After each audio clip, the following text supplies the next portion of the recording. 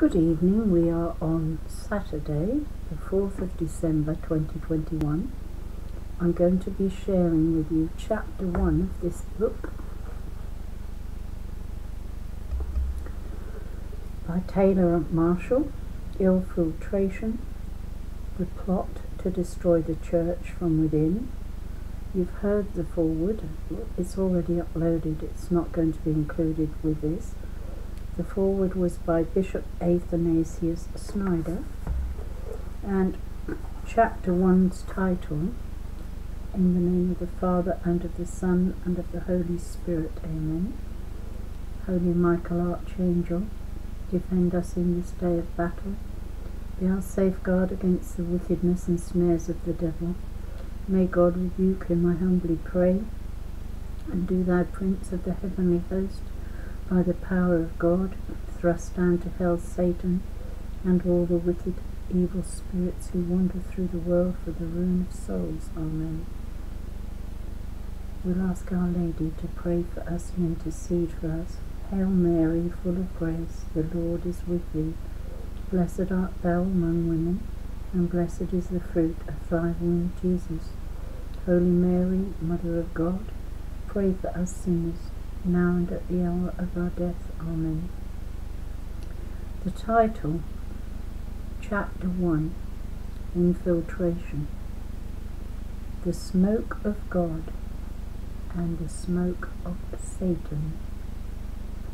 Why did Pope Benedict XVI resign the papacy on the 28th of February 2013? And why did lightning strike the Vatican on the night he announced it? Was it prompted by scandal at the Vatican Bank? Was it a sex scandal tainting the highest cardinals? Was it a doctrinal crisis? All these questions and doubts coalesce when we acknowledge a substantiated and corroborated fact. Satan uniquely entered entered the Catholic Church at some point over the last century, or even before that, for over a century the organizers of Freemasonry, liberalism, and modernism infiltrated the Catholic Church in order to change her doctrine, her liturgy, and her mission from something supernatural to something secular. Catholics are increasingly aware of a climate change in the Catholic Church. Some point to the controversial pontificate of Pope Francis.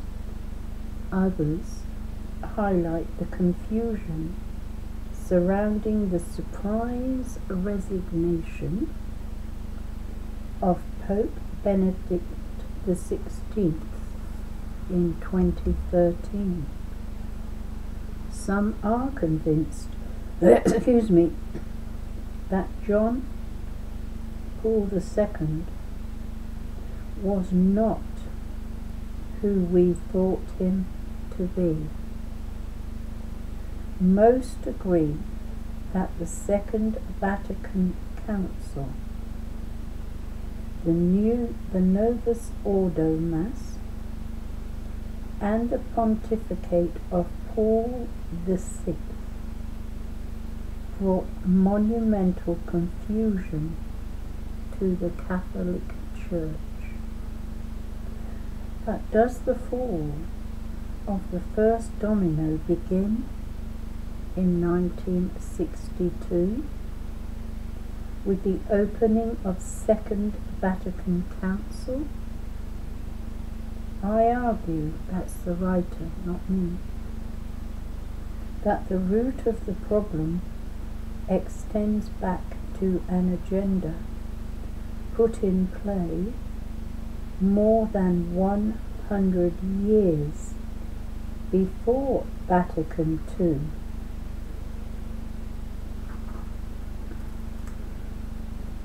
It is an agenda to replace the supernatural religion of the crucified and resurrected Jesus Christ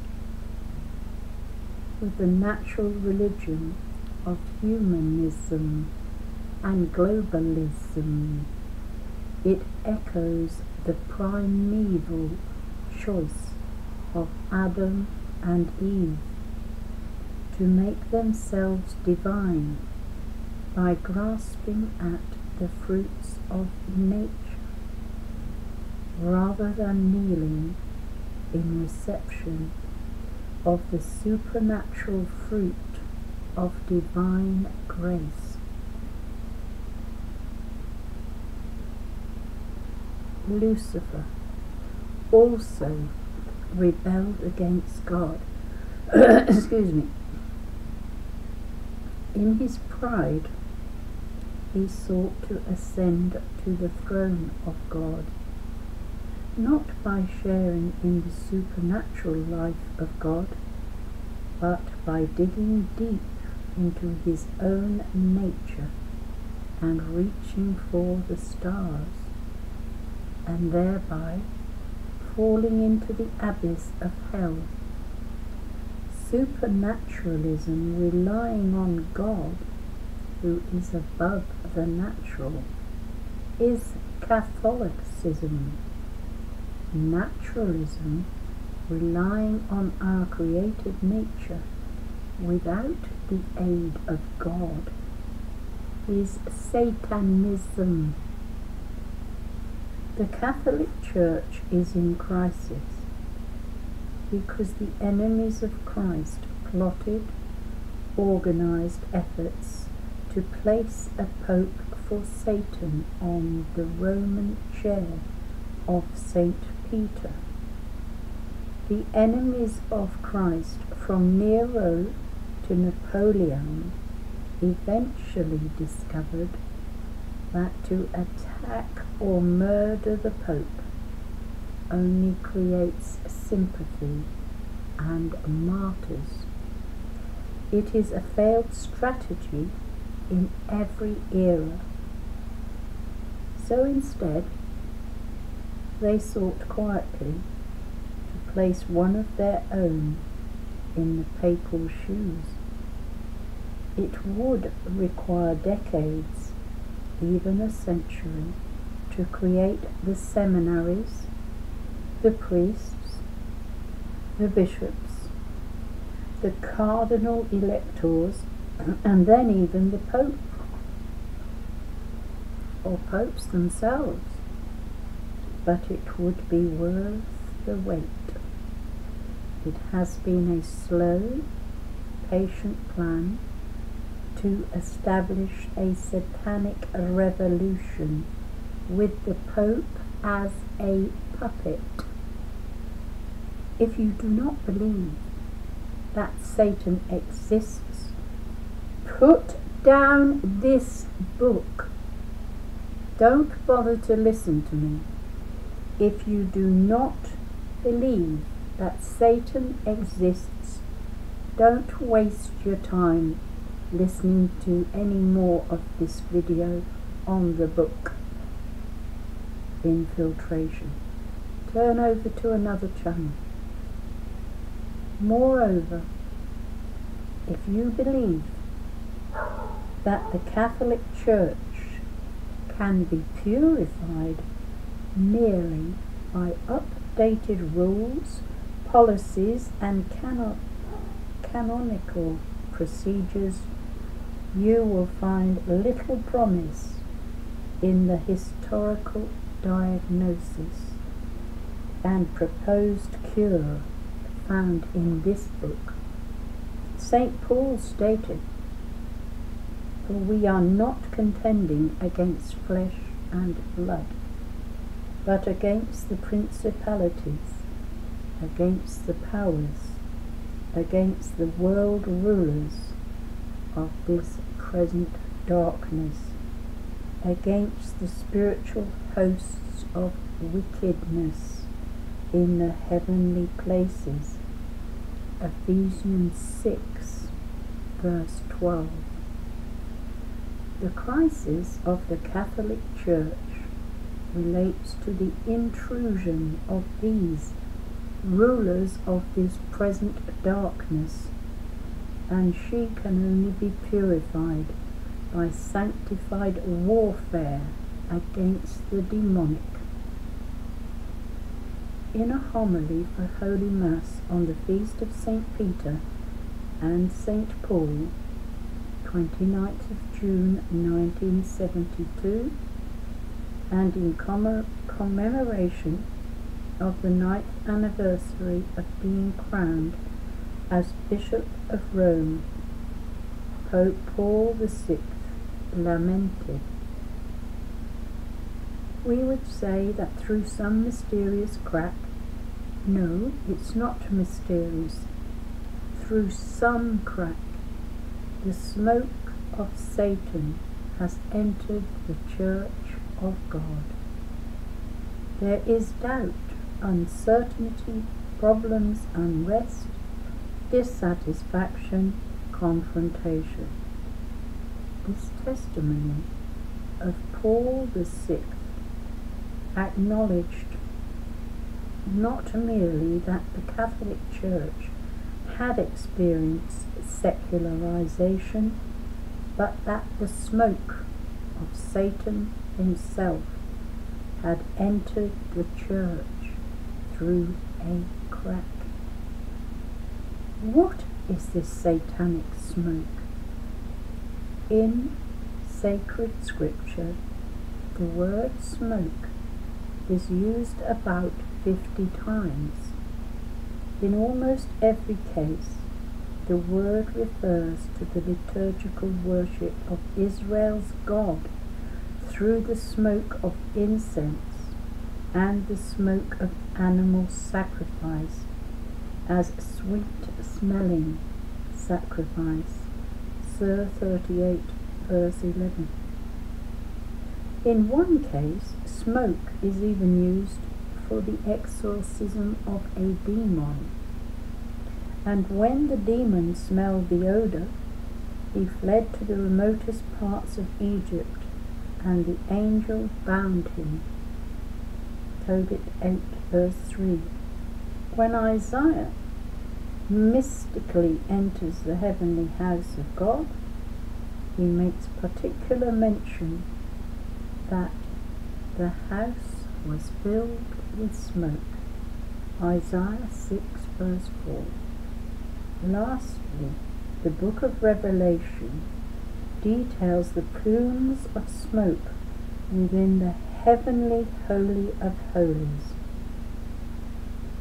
The smoke of the incense rose with the prayers of the saints from the hand of the angel before God.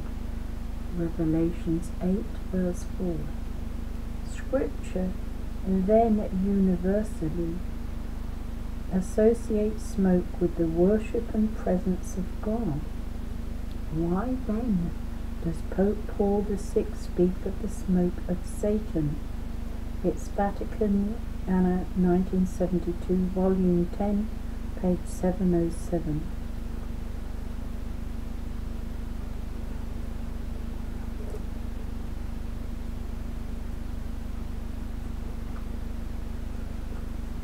Infiltration continued.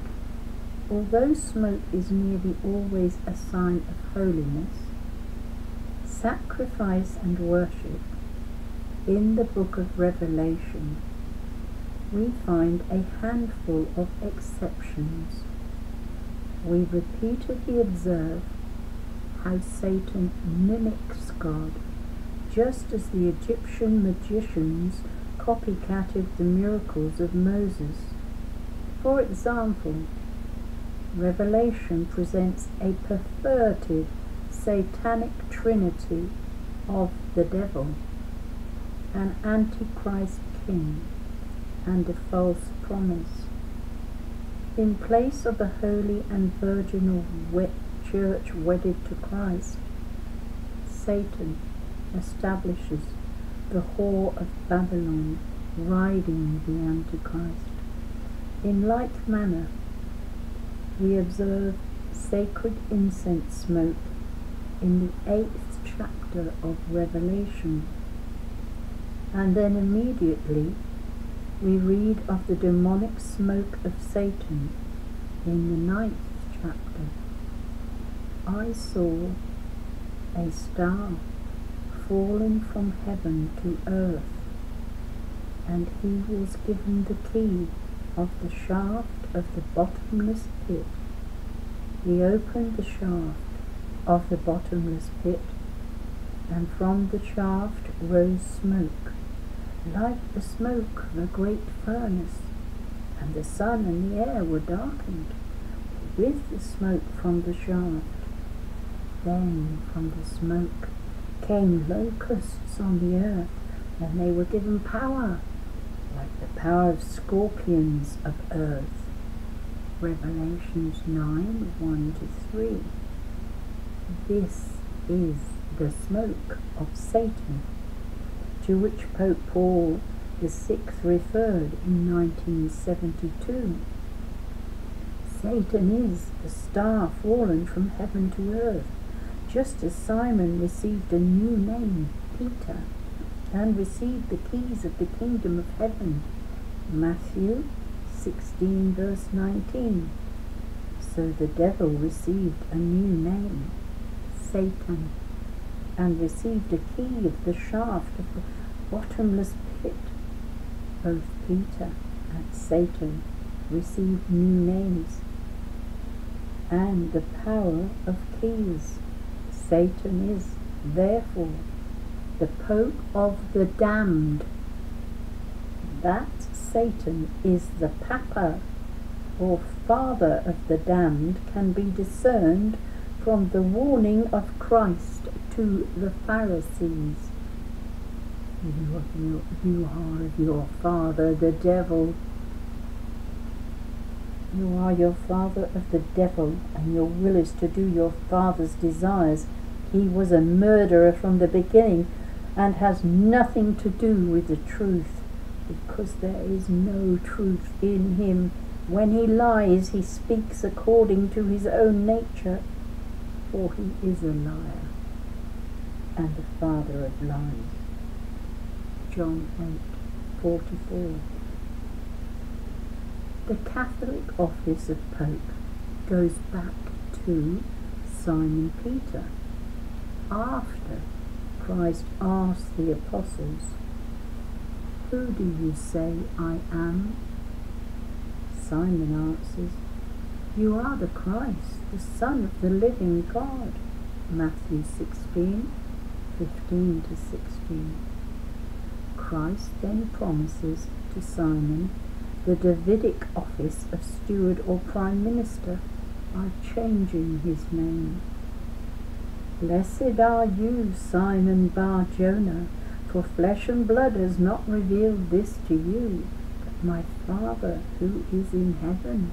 And I tell you are Peter, and on this rock I will build my church, and the powers of death shall not prevail against it. I will give you the keys of the kingdom of heaven, and whatever you bind on earth shall be bound in heaven, and whatever you loose on earth shall be loosed in heaven. Matthew 16, 17 to 19. The successors of St. Peter are those papas or popes who succeed St. Peter as bishops of the city of Rome.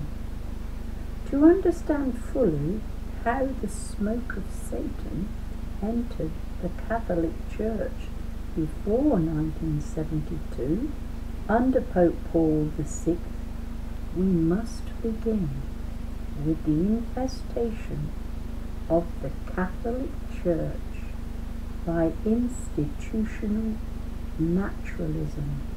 And this leads us to the year of our Lord in 1859.